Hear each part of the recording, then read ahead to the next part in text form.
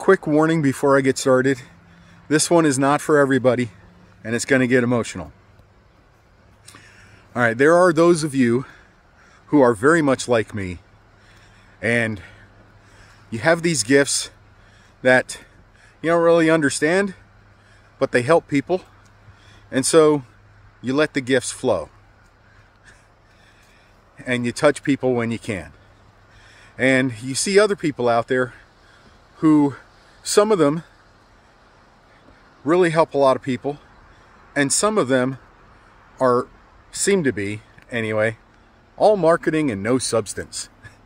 And they're out there just having a great life, making a great living, or at least seeming to. And it gets uh, confusing and frustrating. I get it. I get it. And I agree with you. You deserve better.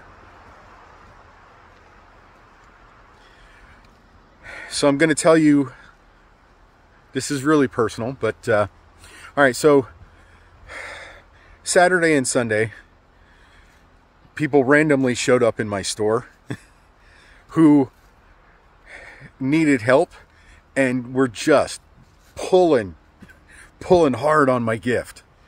And I was able to uh, use my gift to help them. And of course, all the thoughts come. I should be doing this all the time. I shouldn't be stuck here having to work, spend eight hours a day, making next to nothing to barely survive. I deserve better than this. I and I should be doing this full time. I should be be able to make a living off of this and I can't understand why. You know, all that stuff. All that stuff comes. But for some reason, I'm always able to go back to but I helped those three people. and I really helped them and I touched their lives or you know, the gift was able to flow and uh, I don't understand all of it. Uh, I don't have any real answers, but I can tell you if you just go back and cherish those moments where people recognize who you are and they pull on your gifts and you're able to help them.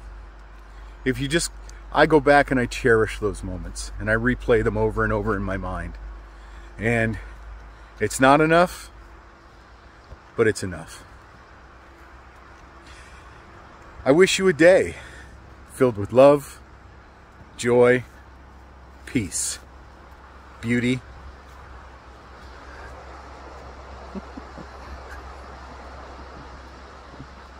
bliss, and wisdom.